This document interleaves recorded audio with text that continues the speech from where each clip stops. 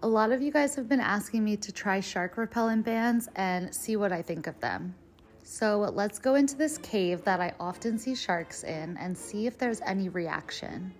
These are baby gray reef sharks that hang out in this cave and I'm gonna try to get a little closer to them and see if they react to the bracelet.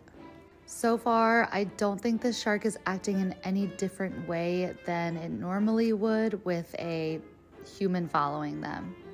Most sharks, if you swim after them from behind, will swim away from you. Here, this shark kind of came over to check me out, and it looked pretty calm as it did that little pass. I looked on the website for this shark band, and it doesn't really tell you exactly what the science behind it is.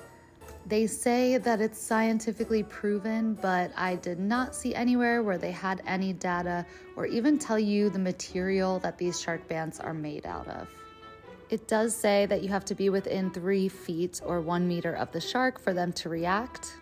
And throughout this video, I'm a lot closer to the sharks than you think due to the wide angle of the lens. Overall, I don't think the sharks reacted differently than they normally would. I will definitely have to keep trying different species and different products if you guys are interested in that. Just let me know in the comments, but so far, I wouldn't waste your money.